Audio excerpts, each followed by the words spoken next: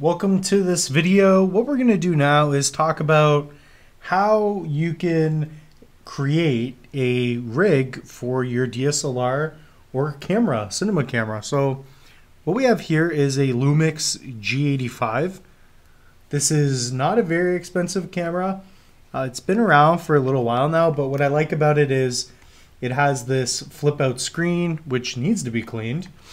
Uh, but it's got a lot of uh, really cool cool things about it because first of all, it is a mirrorless, so it is um, a very light camera, interchangeable lenses. We also have the micro four thirds mount in there, um, and there's so much that we can do here. So step number one, you have to get your camera um, and purchase a cage. Now, um, you don't need a cage. I'm going to show you a way in which you can do this without a cage, and that's going to be uh, for a vlogging setup. We're going to do it a couple ways.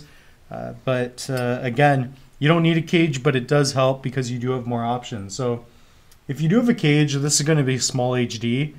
And this does a couple things. Number one, it adds protection to your camera. So with your camera in here, if you drop it, ding it, um, anything like that, it's going to protect your camera very well.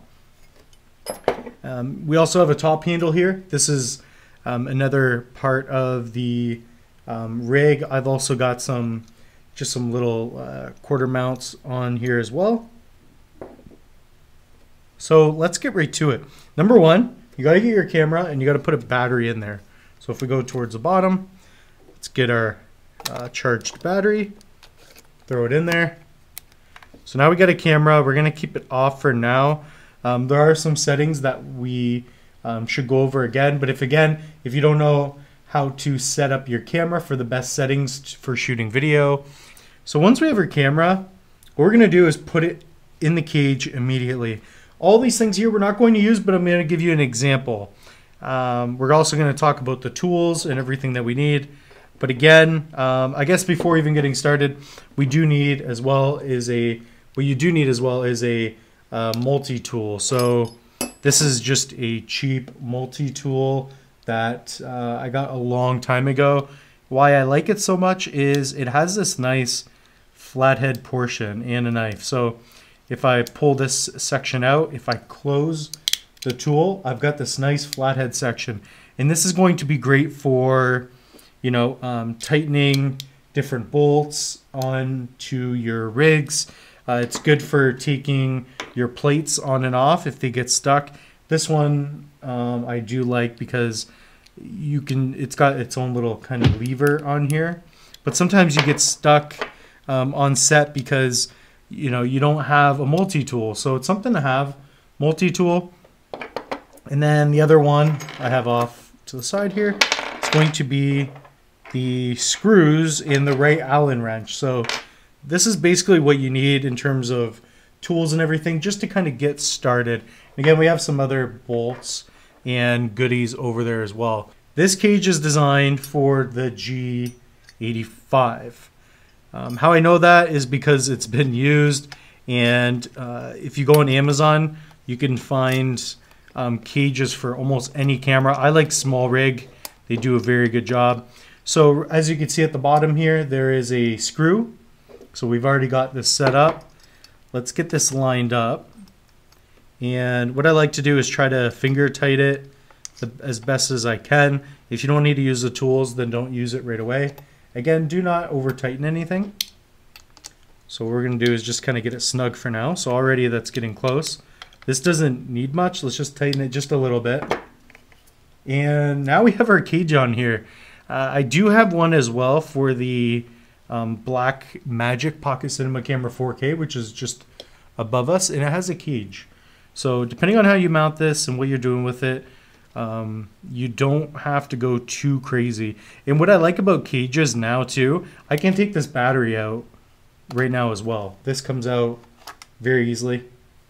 So again, um, they did a really good job um, with the fact that I can get to all the ports. So make sure if you get a cage, make sure that it the company that designs it does a good enough job so you can access all of your um, camera settings and everything on it. Like I can take the SD card on and off.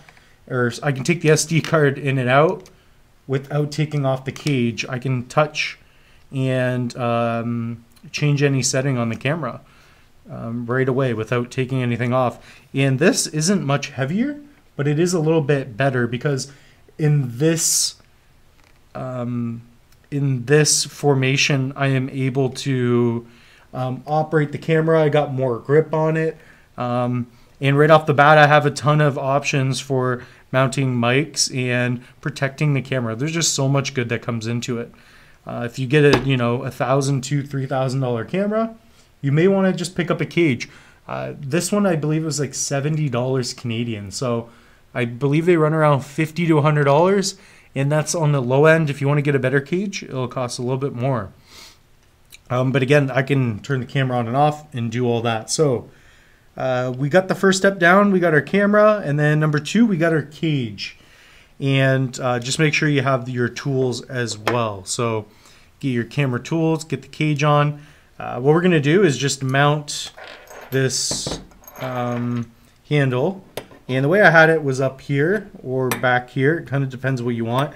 For me, when I use a camera, I like to be able to grab the handle. And um, it kind of depends on where you want it. We could set it behind us and with the lens on there, it would balance out nice. Um, but it kind of depends on what you want and what you're using it for. Um, the one downside to if you put it this way is that if you're vlogging, you're going to have a hard time uh, because when you turn the camera, it's just going to be balanced kind of weird. So, and again, if you have it behind here and you're operating from behind, this may hit your head. So you want to be careful of that. So I typically like to have it pointed out um, and it, it just depends on what you like, and I really recommend experimenting with it because it's going to stabilize your shots. It's going to give you more of a grip. And then three, uh, you're going to be able to add much more accessories such as monitors, microphones, and, and more. So here you just tighten a little bit. This isn't the best one, but it works for this design. And again, right now, we're rocking and rolling already. So if I'm behind the camera, I can put this to my my eye, and yeah, we're all kind of ready to go. Uh, I believe there's another little screw here that you can put in.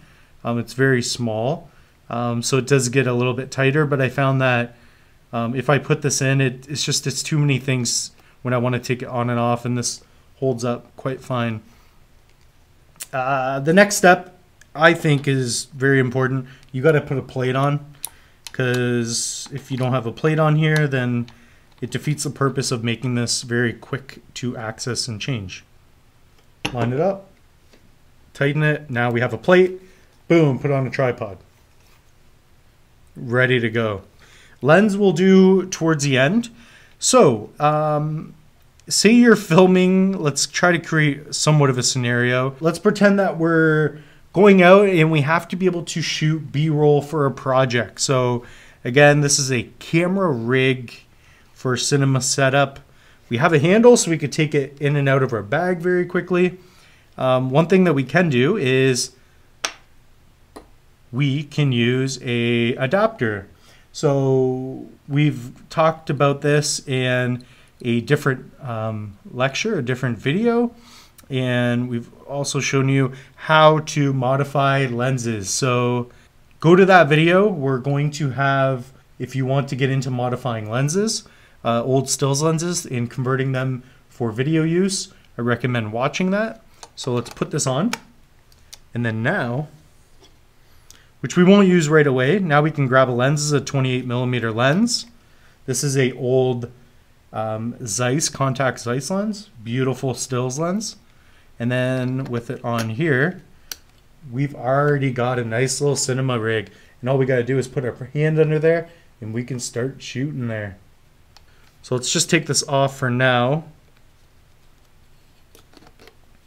If we're filming, say, an interview and we're doing some running and gunning, let's just pretend that we need a lavalier microphone. So this is going to be a Rode Link. And on the side here, we've got two spots where we can put this on the cold shoe. So let's put her on here and tighten it down. So this fits nice and snug. Let's get it towards the middle. So as we tighten this down, all we have to do is go to our microphone port, plug that in, so make sure it's in the mic one, and bam, we've got wireless audio. So all you gotta do is turn this guy on.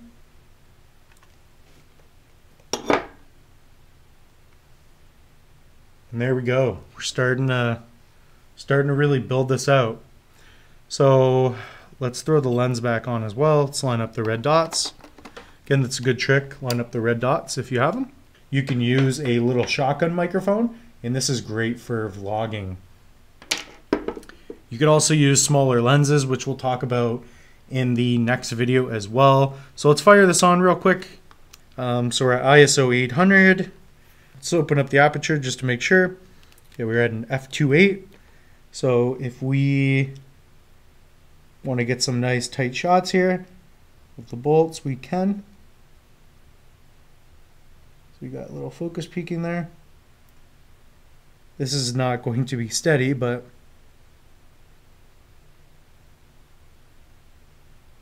again, we could um, we could rack focus and say just get a couple little shots here. So just move a couple items there. So we could rack focus from one item to the next. So we'll go to the middle and then the back.